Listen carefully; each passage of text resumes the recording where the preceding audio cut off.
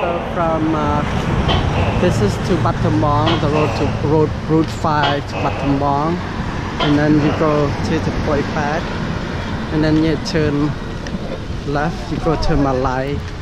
And this is the depot Tela, the new gas station that came. And then this is the a little elephant that used to mark to my village. It's in the middle of here. But now they shove him aside to this little depot Tela.